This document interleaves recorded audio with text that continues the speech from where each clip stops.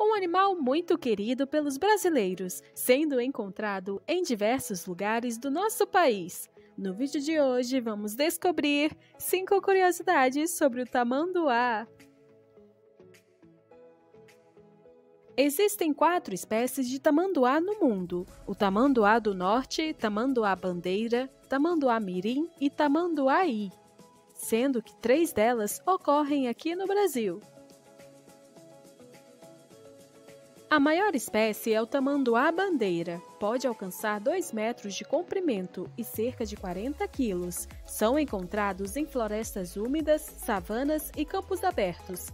Já a menor espécie é o tamanduaí, chegando a 55 centímetros e pesando cerca de 300 gramas.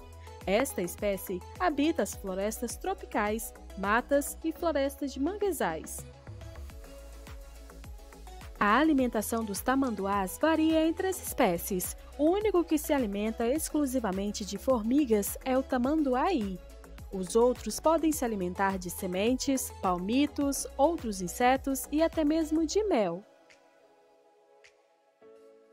Eles são animais solitários, sendo vistos em pares apenas no período de reprodução ou uma mãe com um filhote em período de amamentação.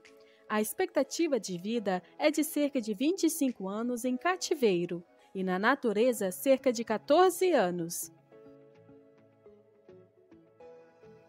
A reprodução do tamanduá ocorre em diferentes épocas, variando entre as espécies. O período gestacional também é variável, podendo durar até 190 dias.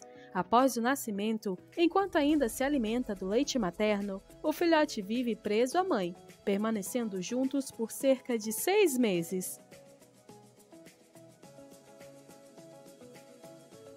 E aí, pessoal, gostaram dessas curiosidades sobre o tamanduá? Vocês já conheciam elas? Escrevam para mim nos comentários. Não se esqueça de curtir e compartilhar o vídeo com os seus amigos. Se inscreva no canal para mais vídeos como este. Obrigada por assistir e até mais!